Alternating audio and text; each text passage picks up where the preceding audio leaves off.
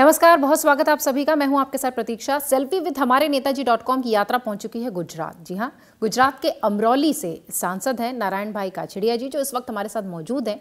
उनसे बातचीत का सिलसिला शुरू कर रहे हैं और इस कार्यक्रम को आगे बढ़ा रहे हैं।